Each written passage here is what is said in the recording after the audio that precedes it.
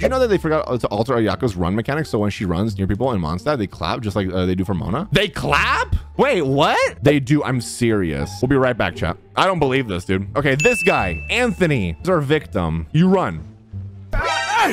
Okay, he just he looked at my ass. Excuse me? I know it's good, but let's come on now. And now let's try it with Ayaka. He doesn't give a shit. Oh, wait, he just did it. He just did it. Okay, Anthony just likes to look at Shenhe's butt. Uh, what about you? Wow. They do clap. I didn't know that. Do you also look at Shenhe's butt though? Dang, she did. Oh, she did. I mean, how can you not, right? Do you clap for Coco? How did I not know that? I have played this game for probably over a thousand hours at this point. I'm AR 58. Never knew that.